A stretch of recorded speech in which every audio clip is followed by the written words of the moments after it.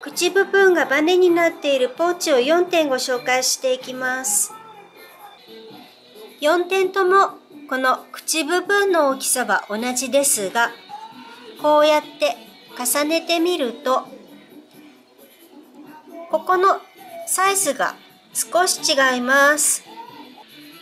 こちらの2点が少し浅めで、こちらの2点が少し深めです。色違いの生地です。たくさん猫が並んでいます。4点ともこのように消しゴムはんこのスタンプで、そしてこの部分は手編みになっています。こちらも猫の生地です。左右このように持ちやすく使いやすいです。